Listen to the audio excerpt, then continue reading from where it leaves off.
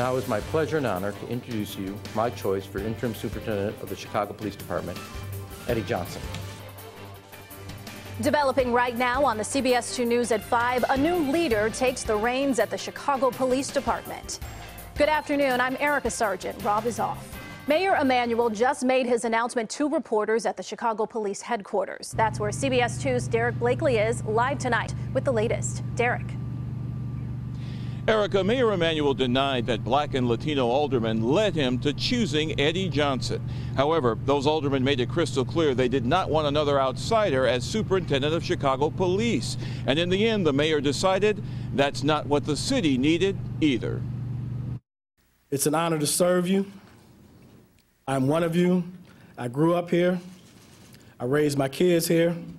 My family is here. Eddie Johnson's background as a native Chicagoan and a 27-year Chicago police veteran was key to Mayor Emanuel's selection.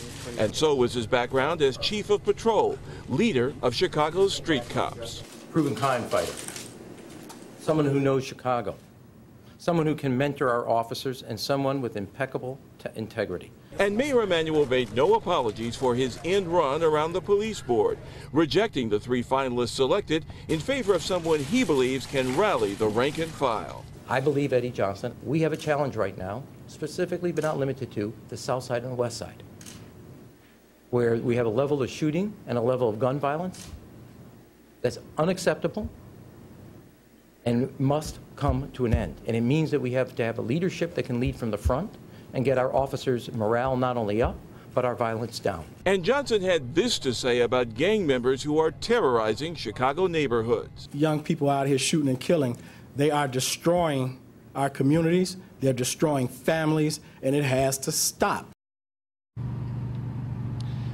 And Mayor Emanuel insisted he never offered the job of police superintendent to anyone other than Eddie Johnson. One of the police board finalists, the public safety director in DeKalb County, Georgia, has been publicly saying that he was offered the job by Emanuel, who later changed his mind.